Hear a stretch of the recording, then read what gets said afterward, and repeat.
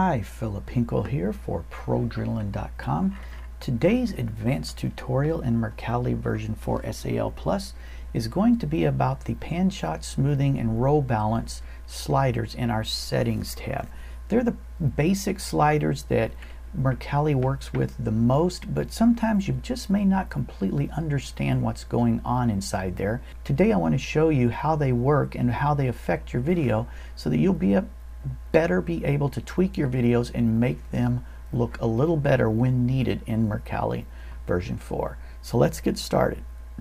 First thing I want to show you is I've got a clip here of a bike ride I went on. Let me show you the source file. You can see it's got some uh, bumps and bounces in it and we're going to fix those up. I am not going to mess with my rolling shutter and CMOS issues because this footage doesn't really have major CMOS problems. We're just going to deal with the stabilization so we're going to leave that off. I am using a Sony AS100V so I went ahead and left that selected. We've run the analysis and this is what we come back with in Mercalli.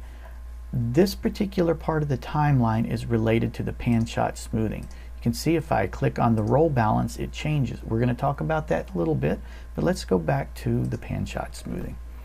The blue lines down here represent the vertical, how much up and down correction is being made.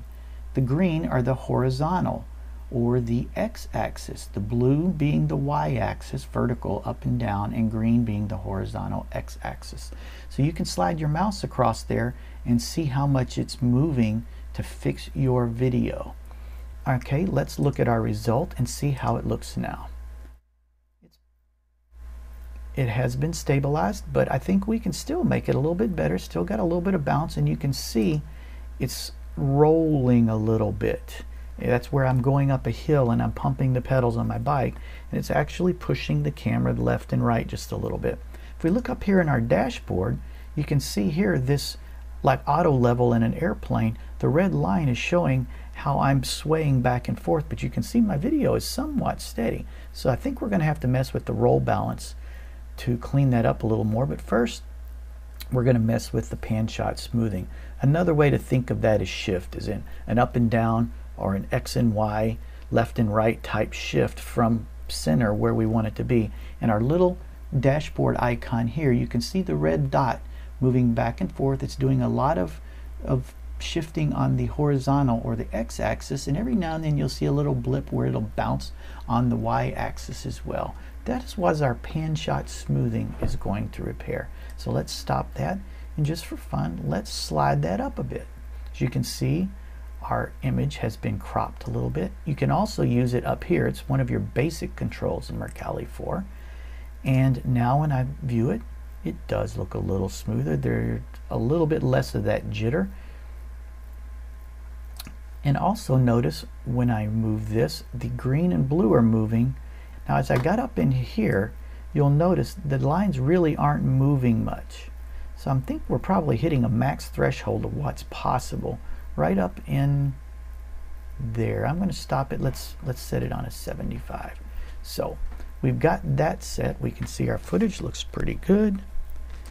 Let's look at the roll balance now. If I come and click onto my chart button, we now see we have some pink lines down here and they're showing you the degrees of correction as they peak and drop up and down. The roll is actually how much the bike is tilting on the z-axis. So that's the sway left and right, the leaning left and right that you see as a result of my pedaling. So if I go back to my source, you can see there's a lot of that bobbing going on. All right, so let's ramp up our roll balance. And as you can see, the pink lines are changing and we'll click our view result and let's look and see how much steadier it is. As you can see, that roll left and right is minimized even more than it was before. We have increased the amount that it's reacting to our movement in the roll balance by moving the slider. Let's move it back down again and watch the finished video. You can see there's that bob, that little bit of left and right motion. If I slide it back up, again, there comes a point where those lines quit moving as much, which is right around in there. I'm going to call that my sweet spot. and let's see what it looks like.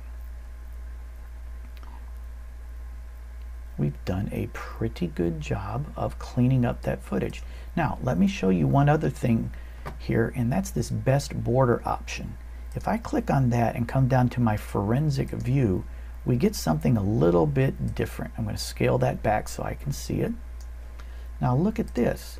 This is a grid that shows you exactly what Mercalli's doing inside your footage. It very well could help tip you off into what needs to be done. You can see that X and Y axis movement, and then as it's going rolling right and left, you can actually see that we need to change our roll balance.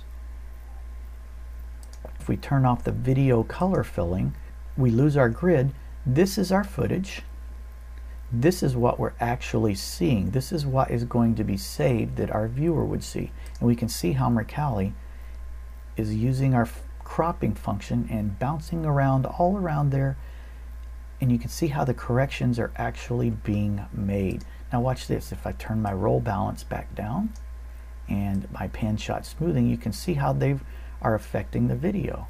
So let's see what happens now. See how they're jerkier and they're not moving around as much? So our final video is going to be jerkier for that very reason. Let's put those back up.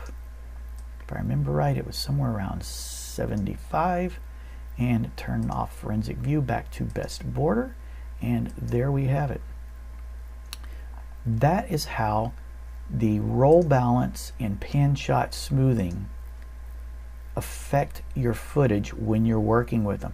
Take some time to play with those. You'll learn a little bit and you'll be able to tweak your footage and get them smoothed out just a little bit more so that what your finished product looks like is just that much better. Thanks and have a good one.